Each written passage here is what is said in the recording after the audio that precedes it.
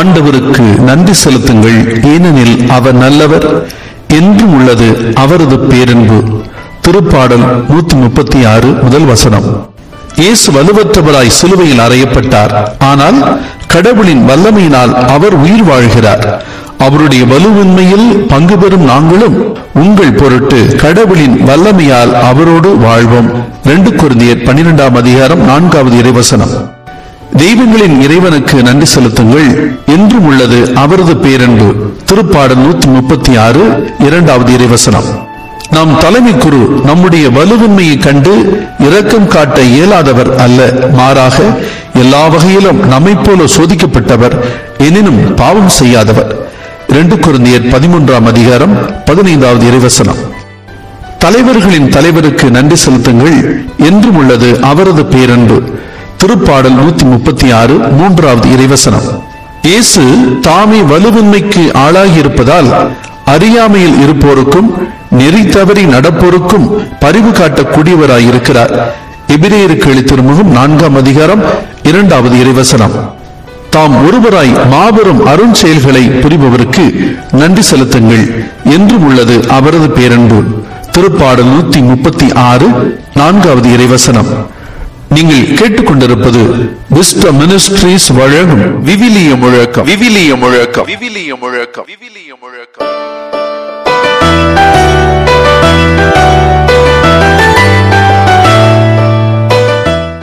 மே மாதம் இருபத்தி இரண்டாம் தேதி செவ்வாய்க்கிழமை. ஆண்டவர் உங்களோடு இருப்பாராக. புனித மார்க்கு எழுதிய தூய நற்செய்தியிலிருந்து வாசகம். அதிகாரம் ஒன்பது இறை வசனங்கள் முப்பது முதல் முப்பத்தி ஏழு முடிய. அவர்கள் அங்கிருந்து புறப்பட்டு கலிலேயா வழியாக சென்றார்கள். அது யாருக்கும் தெரியக்கூடாது என்று இயேசு விரும்பினார். ஏனெனில் மானிட மகன் மக்களின் கையில் ஒப்புவிக்கப்படவிருக்கிறார். அவர்கள் அவரை கொலை செய்வார்கள். கொல்லப்பட்ட மூன்று நாள்களுக்கு பின் அவர் உயிர் தெழுவார் என்று அவர் தம் சீடருக்கு கற்பித்துக் கொண்டிருந்தார். அவர் சொன்னது அவர்களுக்கு விளங்கவில்லை. அவரிடம் விளக்கம் கேட்கவும் அஞ்சினார்கள். அவர்கள் கப்பர் கப்பர்நாகுமுக்கு வந்தார்கள். அவர்கள் வீட்டில் இருந்தபொழுது இயேசு வழியில் நீங்கள் எதை பற்றி வாதாடிக் கொண்டிருக்கிறீர்கள்? என்று அவர்களிடம் கேட்டார். அவர்கள் பேசாதிருந்தார்கள். ஏனெனில் தங்களுள் பெரியவர் யார் என்பதை பற்றி வழியில் ஒருவரோடு ஒருவர் வாதாடி கொண்டு வந்தார்கள். அப்பொழுது அவர் அமர்ந்து பன்னிருவரையும் கூப்பிட்டு அவர்களிடம் ஒருவர் முதல்வராக இருக்க விரும்பினால் அவர் அனைவரிலும் கடைசியானவராகவும் அனைவருக்கும் தொண்டராகவும் இருக்கட்டும் என்றார். பிறகு அவர் ஒரு சிறு பிள்ளையை எடுத்து அவர்கள் நடுவே நிறுத்தி அதை அரவணைத்துக் கொண்டு இத்தகைய சிறு பிள்ளைகளில் ஒன்றை என் பெயரால் ஏற்றுக்கொள்பவர் எவரும் என்னையே ஏற்றுக்கொள்கிறார். என்னை ஏற்றுக்கொள்பவர் என்னை மட்டுமல்ல என்னை அனுப்பினவரையே ஏற்றுக்கொள்கிறார் என்றார் கிறிஸ்துவின் நற்செய்தி. இறை இயேசு கிறிஸ்துவில் அன்புக்குரிய சகோதர சகோதரிகளை ஆண்டவர் இயேசு கிறிஸ்து இன்று தன்னுடைய இறப்பை பற்றி இரண்டாம் முறையாக தன்னுடைய சீடர்களுக்கு எடுத்துரைப்பதையும் அதே போல அந்த சீடர்கள் தங்களுள் யார் பெரியவர் என்று வாதாடிக் கொண்டிருக்கிற பொழுது அவர்களை நல்ல ஒரு அறிவுரையினாலே அவர்கள் பிறருக்கு தலைவர்களாக இருந்து ஆட்சி செய்வதற்காக அல்ல மாறாக தொண்டராக இருந்து பிறருடைய தேவைகளுக்காக உழைப்பவர்களாக வாழ்வதற்காகவே அழைக்கப்பட்டுள்ளது என்பதை அவர்களுக்கு ஆண்டவர் இயேசு கிறிஸ்து அறிவுறுத்துகின்றார். ஆண்டவர் இயேசு கிறிஸ்து தன்னுடைய வாழ்க்கையிலே தந்தை இறைவன் தன்னை இந்த உலகத்திற்கு அனுப்பியதற்கு ஏற்ற விதமாக தன்னையே தாழ்த்தி ஒப்புக் கொடுத்தார். இறைவனின் விருப்பத்திற்கு தந்தை இறைவனின் விருப்பத்திற்கு முற்றிலும் தன்னையே தாழ்த்தி சிலுவை சாவை ஏற்றுக்கொள்ளக்கூடிய அளவிற்கு தன்னையே தாழ்த்தி ஒப்புக் கொடுக்கிறார்.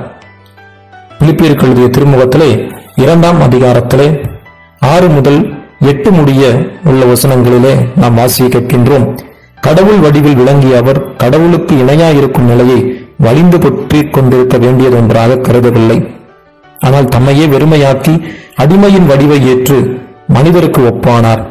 சாவை ஏற்கும் அளவுக்கு அதுவும் சிலுவை சாவையை ஏற்கும் அளவுக்கு கீழ்ப்படிந்து தம்மையே தாழ்த்திக் கொண்டார் என்று குறிப்பிடப்பட்டிருக்கிறது. இயேசு கிறிஸ்து ஆண்டவர் தன்னை முதலில் தாழ்த்தி தந்தை இறைவனுடைய விருப்பத்திற்கு அர்ப்பணித்தார்.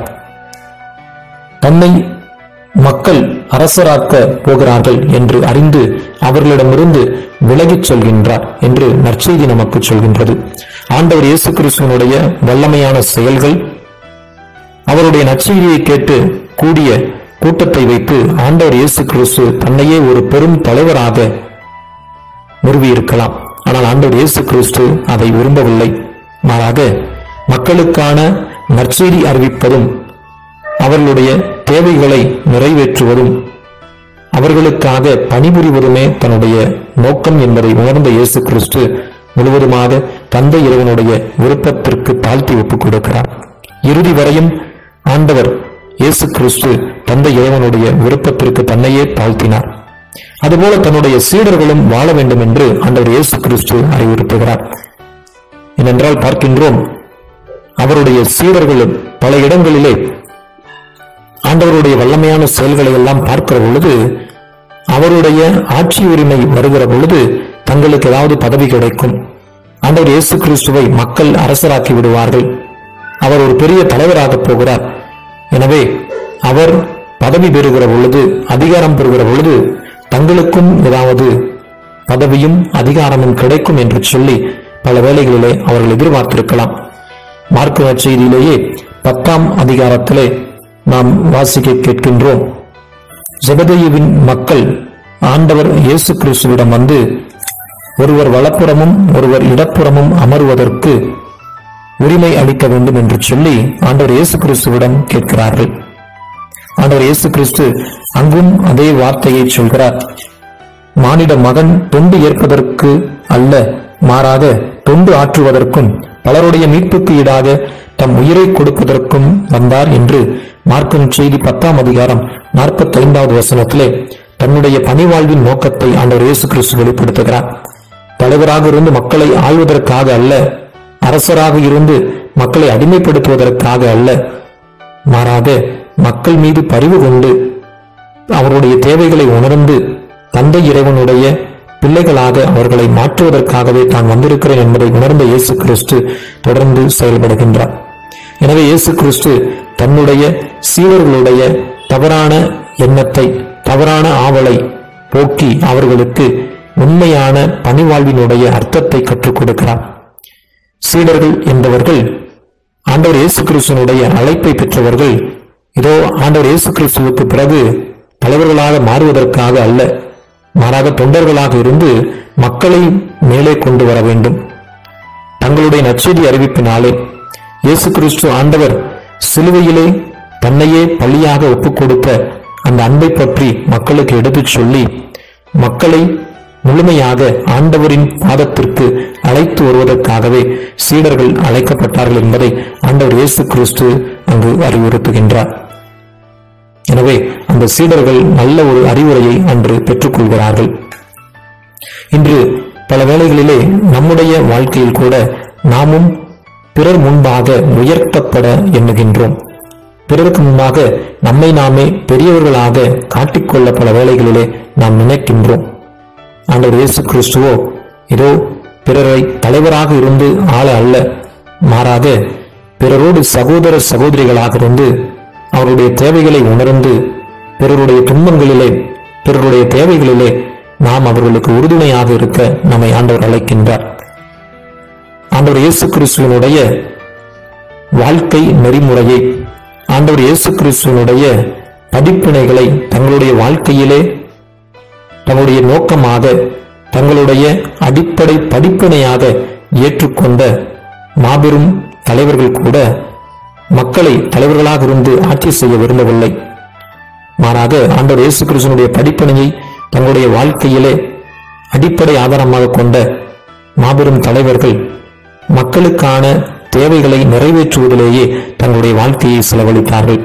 உதாரணத்திற்கு அன்னை தெரசாவை நாம் எடுத்துக்கொண்டோம் என்றால் ஆண்டவர் இயேசு கிறிஸ்துவனுடைய உண்மை சீடராக ஆண்டவர் இயேசு கிறிஸ்துவனுடைய பணிவாழ்வின் நோக்கத்தை உணர்ந்தவராக தன்னையும் அவரைப் போலவே இதோ ஏழைகளுக்கும் எளியவர்களுக்கும் கைவிடப்பட்டவர்களுக்கும் பணி செய்து அவர்களை மேம்படுத்துவதற்காக தன்னுடைய வாழ்க்கையை அர்ப்பணித்தார்.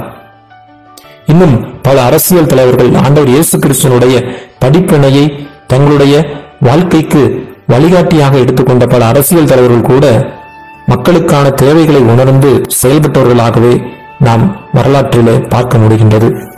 எனவே நம்முடைய வாழ்க்கையிலும் நாம் ஆண்டவர் இயேசு கிறிஸ்துவனுடைய அந்த பணி செய்வதற்கான பணி புரிவதற்கான அந்த எண்ணத்தை நாமும் பெற்றுக்கொள்ள அழைக்கப்படுகின்றோம். நாம் ஆண்டவருடைய சீடர்களாக இந்த உலகத்திலே வாழ அழைக்கப்பட்டுள்ளோம். அவருடைய சாட்சிகளாக வாழ அழைக்கப்பட்டுள்ளோம். எனவே பிறரை அடக்கி ஆளுவதற்காக அல்ல குறிப்பாக நம்முடைய குடும்பத்திலோ பணி செய்கின்ற இடத்திலோ மற்ற இடங்களிலோ பொது இடங்களிலோ நாம் அதிகாரத்தையும் பதவியையும் பெறுவதற்காக நாம் ஆவல் கொள்ளாமல் இதோ ஆண்டவருடைய விருப்பத்திற்கேற்ப பிறரை அன்பு செய்து பிறருடைய தேவைகளிலே துணை நின்று பிறருக்கு உதவிக்கரமாக இருந்து பிறருடைய வாழ்க்கையை மேம்படுத்துகிற பொழுது இந்த உலகத்திலே இறைவனுடைய ஆட்சியை நாம் கொண்டு வருவோம். ஏனென்றால் இறைவனே நம்மை உண்டாக்கியவர். அவருக்கே அனைத்து அதிகாரமும் ஆட்சியும் உரிமையும் உண்டு. நாம் இந்த உலகத்திலே பணியாளர்கள். அவர் நம்மிடம் எதிர்பார்க்கிற பணியை நாம் நிறைவாக செய்து எல்லாம் வல்ல கடவுளை எல்லாம் வல்ல இறைவனை நாம் மகிமைப்படுத்துவோம் நம்முடைய செயல்களினாலே. அதற்கான வரங்களை வேண்டி தொடர்ந்து நாம் மன்றாடுவோம். ஜபிப்புமாக.